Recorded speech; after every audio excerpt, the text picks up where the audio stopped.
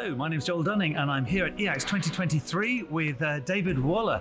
Uh, David Waller is an absolute giant of mesothelioma surgery. Uh, he's contributed so much, and, and, very, very importantly, the incredible trials of Mars 1, MesoVATS, and Mars 2.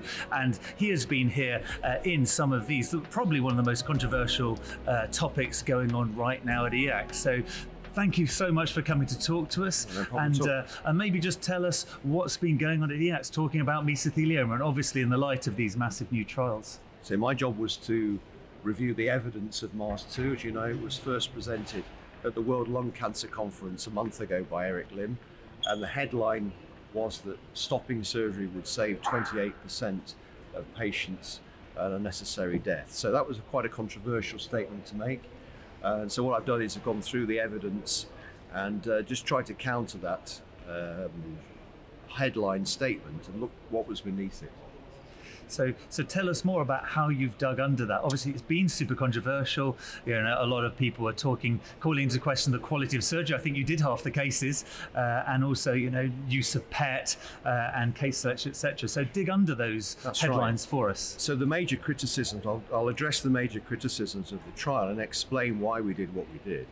The major criticism was that the selection criteria were too loose, and we included patients who probably would not be routinely operated on in other expert centres, so people with non epithelioid disease, people with clinical nodal disease, and our staging was less than intense than uh, is currently used by expert centres. We did not use PET, we did not stage the mediastinum.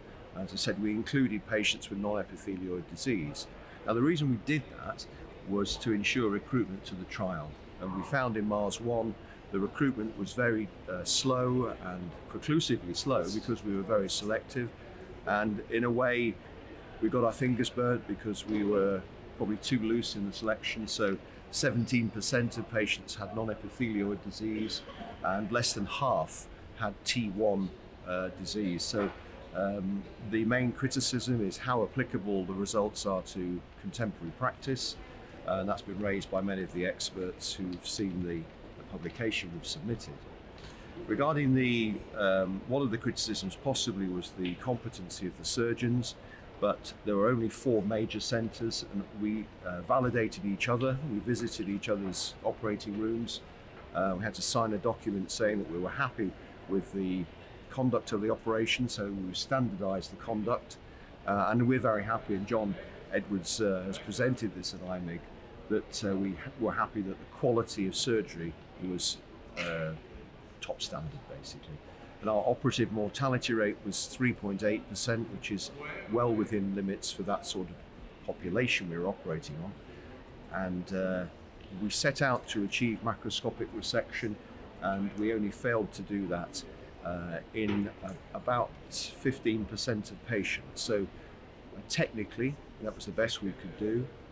The problem, I think, was that we were too loose in selection we suffered from poor survival in the non-epithelioid patients. And because we were doing extensive disease we did large operations and we found an excess of uh, treatment related respiratory deaths in the surgical arm which probably related to the high proportion of patients who had the diaphragm excised and replaced.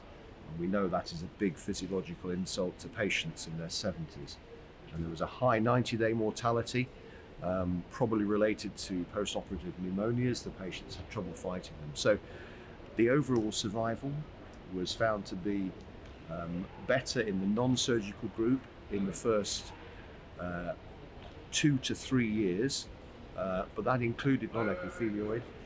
Um, when you go past that, there's no difference in overall survival. In fact, the longest term survivors, uh, the tail to the curve, were patients who had had surgery and chemotherapy. Unfortunately, another big criticism of the study, we set out to, the objective was to see if surgery added anything to chemotherapy, but 40% of the patients received no further chemotherapy after surgery. So effectively, in 40% of patients, it was a trial of surgery versus chemotherapy. Also, there was a higher use of immunotherapy, significantly higher in the non-surgical group, Uh, and we didn't allow for that in the design of the trial because the data was it wasn't being used at that time. And unfortunately, that probably, of course, had a significant survival benefit uh, and was more commonly used in the non-surgery group. So, unfortunately, it, was a massive achievement, and credit to everybody involved, yourself included, and all the UK centres, the network of mesothelioma nurses um, that promoted and organised the two trials units that were used. Um, but I think the problem is going to be in applying the results to real world uh, mesothelioma surgery. Yeah, and, and and tell us a little bit more where you personally go. You did so many of these operations. You did half of them. You did a huge number of these operations. So, so today, right now, what will you be doing next week when you go back to meet mesothelioma patients? So we still are not sure about the um, use of surgery in early stage disease, and the proposal will be for a MARS 3 study to look specifically at the low grade epithelioid early stage disease but in the interim, I'm going back to what I was doing before Mars 2, which is to only operate on epithelioid and only operate on early stage disease, and that will be T1 or T2, and also to exclude nodal disease by doing a mediastinoscopy. And that's what I'm waiting now for patient I did a mediastinoscopy on last week. If his nodes are negative, I'll offer him surgery, and then followed by adjuvant therapy, which probably will be immunotherapy. So, so I hadn't heard of the concept of a, of a Mars 3. So, so I guess tell us a little bit more about that. I suppose you've highlighted it just there. Yes, I think that's the, the burning question. And still, there's, uh, it would have to be an international study. I've talked to my international colleagues. They're very keen uh, to answer the question is there a role for additional local control in the form of surgery uh, to what would now be immunotherapy?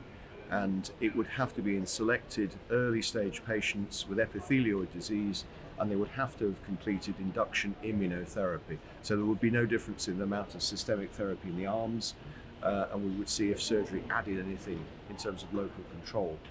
That's the proposal and it may not be myself who completes the trial now, but certainly I'll be happy to uh, uh, supervise and, and, design the protocol with the, the increasing number of younger generation surgeons who are still operating on mesothelioma around the world and still want to uh, answer this question. I think for the patients as well, we need to be more specific for them. So let's hope. And I guess in America, you know, mesothelioma surgery is probably a lot more prevalent than the UK. You know, a what impact do you think Mars two is going to have, and b can can they join Mars three? I know you know, it is difficult to randomize in America, but what impact will this study have in America, do you think? Well, I think I don't think it will stop operations in America. I don't think insurance companies will um, rely just on one randomized trial from uh, a different healthcare system with the drawbacks that I've explained. But I think the doubt created by Mars 2 will probably stimulate more interest in a, fi- a f- hopefully a final randomized controlled trial. I don't think they uh, could actually ignore the possibility now. I don't think anyone could confidently say there's a role for surgery without a clinical trial. And I think that probably is the final conclusion of any publication of MARS 2 is that there is still uh, a role of surgery to be explored in a further clinical trial, but it would have to be international because of the, the delay in recruitment, and that we compromised that probably in the UK by including the higher stage patients. So we wanted to be specific about the low, low grade epithelioid early stage, we'd have to draw the uh, spread the net widely into the, Euro- European, American, and possibly Asian uh, community. Yeah, well, fantastic. Well, thank you so much for coming to talk to us. I know you're super busy. You've got another session going in 10 all, yeah. minutes, but, but your leadership of mesothelioma surgery worldwide has been absolutely amazing and uh, congratulations. Thank you very much. It was a, a, great achievement and credit to Eric as the chief investigator for the supervision of the trial. Credit to all the surgeons who uh, took on this difficult project, and more credit to the mesothelioma community who uh, all, you know put this trial together. It's a big achievement for the UK. Yeah, an amazing sacrifice for the patients who actually agreed to join a, a what is a randomised trial. Of course, it's amazing they consented to in such numbers to such a different arm of the study. Great. Well, thank you so much, and uh, we'll let you run off to your session. Thank and you thank very you very much, much, for seeing us. Thank Thanks you. Everyone.